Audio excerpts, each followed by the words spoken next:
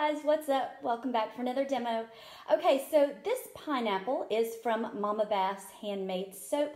I know that pineapples are all the rage right now, but I've actually had this one for a little while. I think she came out with this one in February, so I think that she's kind of always a little bit ahead of the curve, and I got it because it was blue. I thought it was nice and different, and she's just always has just a very creative take on things or she's just super original just so oftentimes. So she's just one of my favorite bath bomb vendors right now for that reason.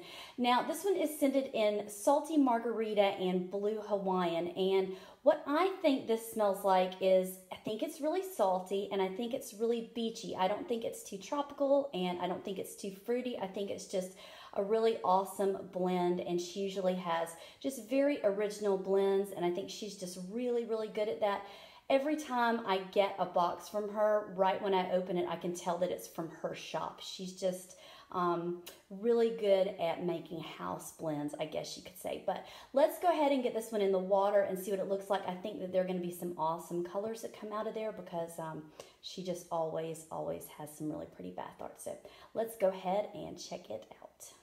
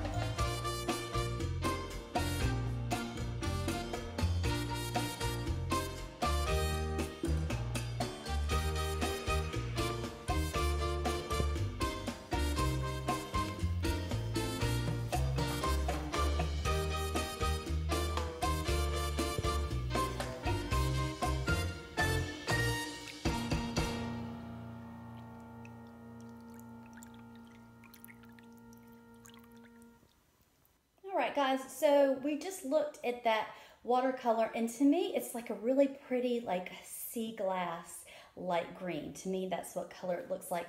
I can't tell if there's any shimmer in the water or not, but let's go ahead and flip on these jets. I almost want to say I don't see any shimmer in the water, but sometimes I just can't tell until I get in there. Okay, lots of bubbles.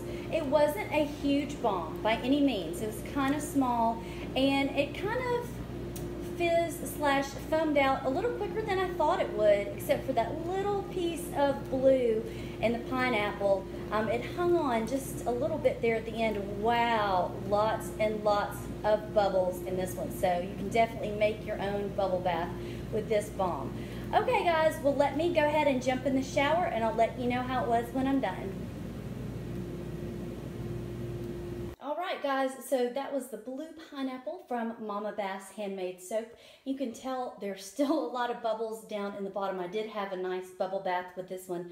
Now, the scent actually is pretty light. It's not super, super strong, but the watercolor, it was just a nice light green. It wasn't like really dark or bright or opaque, but like I said, there were tons of bubbles with this one. And it was just a pretty little bath bomb with some nice bath art. So definitely go ahead and check her out. I will have her links listed down below. She is having a restock on the 17th, June 17th, and I definitely will not miss that. I never miss her restock, so don't forget about that. Okay, guys, gotta run. See you next time. Bye bye.